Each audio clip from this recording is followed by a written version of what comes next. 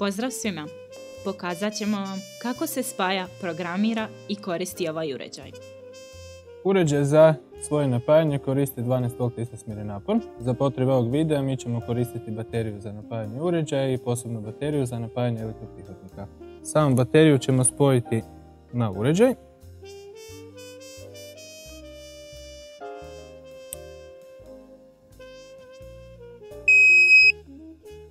Nakon što smo spojili napajanje na uređaj, napravit ćemo strujni krug sa uređajem i elektroprihvatnikom.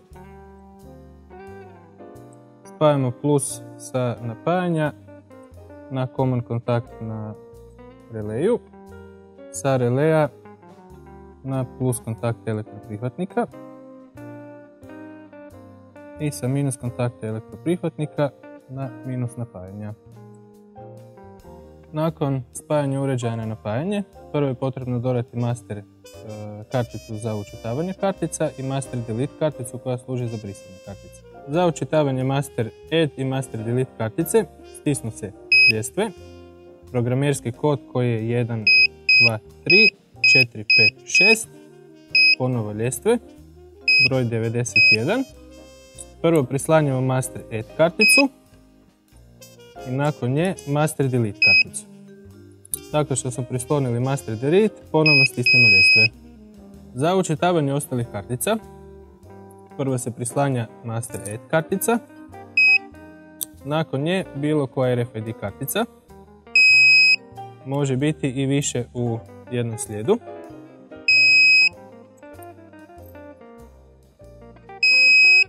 I učitavanje se ponovo potvrdi sa master add karticom. Nakon smo potvrdili učitavanje kartica, kartice su učitane u uređaj i otvaraju elektroprihvatnik. Za dodavanje PIN koda korisnika isto je potrebno stisnuti ljestve, programerski PIN, ponovo ljestve, broj 22 i PIN koji treba biti od 3 do 6 znamenke. Mi ćemo za sada koristiti 1122 puno spina potvrđujemo sa ljestvama i nakon toga pin također otvara vrata.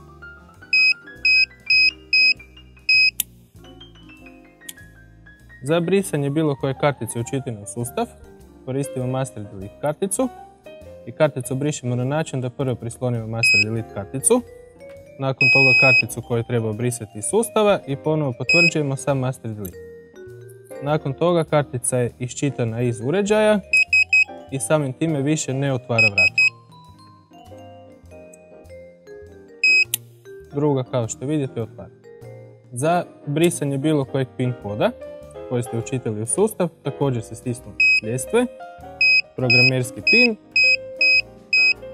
ljestve, broj 44 i pin koji želimo izbrisati. Mi smo učitali 1122 pa ćemo 1122 i obrisati. Nakon toga učitani pin više ne otvara elektroprihvatnik. Za brisanje svih učitanih kartica iz sustava prvo se prislanja master delete kartica, nakon nje master add kartica i ponovno master delete kartica.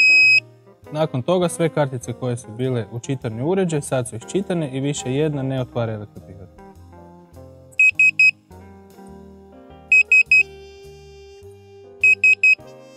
Brisanje svih kodova. Izvodi se na način da stisnemo ljestve, programerski pin kod, ponovno ljestve, broj 45, 1111, ljestve i svi pin kodovi koji su bili učitani u uređaj su nakon toga izbrisani. Za brisanje master add i master delete kartice e, koristi se komanda ljestve, ponovno programerski pin kod, ljestve, 92 i ponovno ljestve. Nakon toga Master Add i Master Delete kartica su izbrisane iz uređaja. I to je to. Nadamo se da vam je ovaj kratki video bio koristan. Radujemo se vašim pitanjima i komentarima. Za sve dodatne informacije stojimo vam na raspolaganju.